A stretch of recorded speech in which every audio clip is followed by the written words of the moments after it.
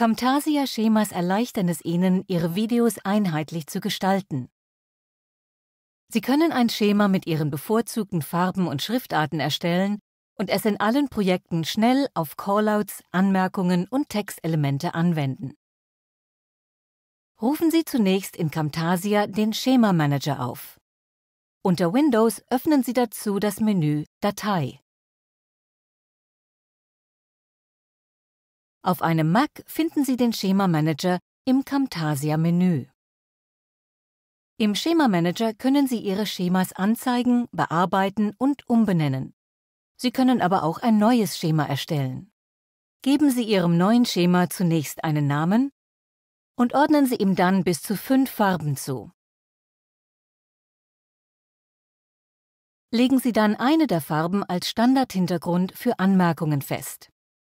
Wechseln Sie anschließend zum Tab Schriftarten und wählen Sie bis zu zwei Schriftarten aus. Klicken Sie auf OK, um Ihre Einstellungen zu speichern.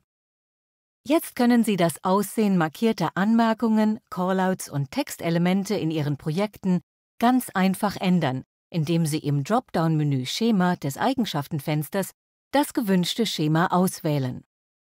Sie können die Farben eines Schemas auch anwenden, indem Sie auf das Farb-Dropdown-Menü klicken und dort erst Ihr Schema und dann die gewünschte Farbe auswählen. Das funktioniert auch mit den Schriftarten. Öffnen Sie das Schriftarten-Dropdown-Menü klicken Sie auf Ihr Schema und wählen Sie die gewünschte Schriftart. Wenn Sie Elemente aus der Bibliothek Camtasia 2018 verwenden, zum Beispiel Intros oder untere Bildschirmdrittel, können Sie direkt über den Tab Eigenschaftenauswahl des Eigenschaftenfensters auf die Farben und Schriftarten Ihres Schemas zugreifen. Öffnen Sie einfach das Farb-Dropdown-Menü und wählen Sie die gewünschte Farbe aus Ihrem Schema oder öffnen Sie das Schriftarten-Dropdown-Menü und wählen Sie die gewünschte Schriftart. Wenn Sie Ihr Schema aktualisieren oder bearbeiten wollen, rufen Sie wieder den Schema Manager auf.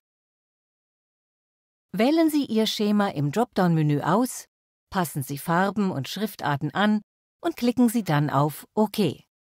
Um ein Schema umzubenennen oder zu löschen, achten Sie darauf, dass im Dropdown-Menü das richtige Schema ausgewählt ist. Wählen Sie dann den gewünschten Befehl. Schemas erleichtern es Ihnen, Ihre Videos einheitlich zu gestalten. Wenn Sie an weiteren Tipps zur Arbeit mit Camtasia interessiert sind, schauen Sie sich die anderen Tutorials an. Vielen Dank fürs Zuschauen.